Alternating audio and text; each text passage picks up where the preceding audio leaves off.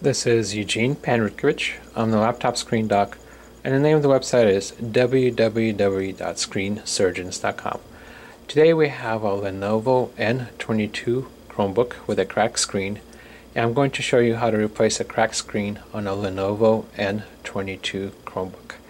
Uh, before we start, need to take care of a couple of things first want to make sure the laptop is off. Uh, for Chromebooks, this is really simple. If the screen is dark, the laptop is off.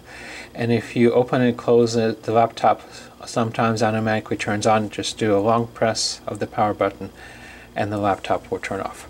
Second thing is to identify the model number. So this is the N22. In this case, it's really easy. N22 here. And also on the back, on the label, it says N22 on the top line also. Okay, next, let's go over the tools we're going to use. We have a, we have a hobby knife or X-Acto knife with a pointed end. That's to remove the screw covers and lift up adhesive tape. We have a metal spudger tool, tool and that's used to pry things open. We have a pair of metal tweezers that's used as a prying tool to manipulate cables or to remove any screws that may be stuck. We have a PH0 electronics screwdriver. PH stands for Phillips and 0 is the size. And finally we have a smaller PH00 electronic screwdriver and that's for the smaller screws. Okay, first order of business for this laptop is to remove the bezel, the plastic frame around the screen, and it's secured by, in this case, eight screws and each screw has a screw cover. So first thing we need to do is use our hobby knife to remove the eight screw covers. And being careful not to damage the screw cover we lift it up and then put it beside the opening. And that way we don't lose it and it's accessible when we put it back on again. So one two this this is rather unusual to have eight screws securing the bezel, but for Chromebooks I guess that's prudent because of the use that they get. So that's five.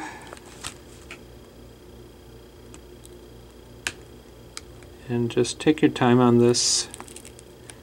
Okay, actually if you look on this one, there's no screw behind there so we keep the screw cover on. So I'm guessing there's no screw behind here and let's lift up the sixth one. So so right now we have six screws that we need to remove. So let's remove the screws one by one. And when we do this let's have the we need to have the screen assembly tilted back a little bit. And that way it's easier to work on. That's three. And for each step, for each set of screws, we keep the screws in a separate pile. And that way we can keep track of which screws go where when we put the laptop back together again. So once we remove the six screws, we can snap the screen bezel off. For this part, we need to put our fingertips our fingernails on the screen side and make sure we can get a good grip and gently start lifting up and lifting out until and when we hear snapping sounds. That means the screen bezel is snapping off the screen assembly. And in this way we go around the screen assembly. As you can see the camera assembly is a separate part so we don't touch that and on the bottom there is some adhesive. So we gently remove the bottom and the adhesive making sure not to damage anything. And we keep going and this way we can remove the bezel from the screen assembly and put it on the side. Once we do that we have the screen and then we need to remove the screen from the screen assembly. To this, we remove the two screws at the top and two screws at the bottom. When we do this, we want to have the screen tilted back again, and that's to make sure that the screen doesn't fall forward from the screen assembly. So we have one, two, and this one would need the screw need a little bit extra torque until we caught it. Three, and then four. Okay, once we do that, we can gently remove the screen from the screen assembly. You can grab by the tabs and then lower the screen. When you lower it, make sure we don't touch the power button so that the laptop doesn't turn on during the procedure. And then next, what we need to do is remove the connector. So to do this, there's some adhesive tape. We use our hobby knife or X-Acto knife to lift up the corner of the adhesive tape and then we peel the adhesive tape back and then we grab the connector by the back and then slide it out like so. I'm going to show you how to reconnect it. When we reconnect it, we slide the connector in and you'll feel but not hear two clicks.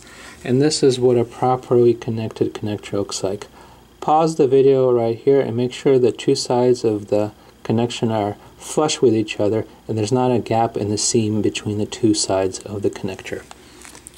Okay, so remove the connector again and let's take a look at this screen. It's a 11.6 inch EDP screen. Uh, this is the most common type of screen that goes into the Chromebooks and this one has a matte finish and most of these screens do have a matte finish.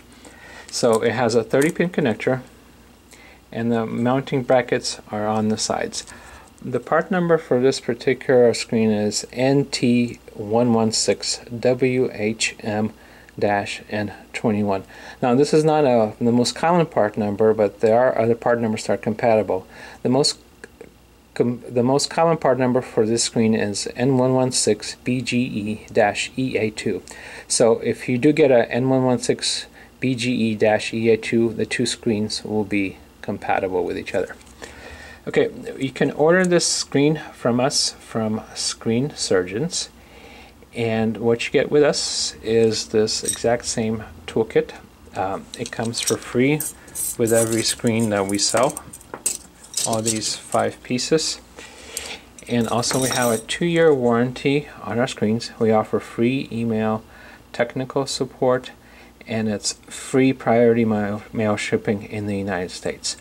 Also, if you're with a school district, uh, we work with school districts around the country and around the world, and we offer extra technical support and volume discounts for school districts and ability, and we do accept purchase orders.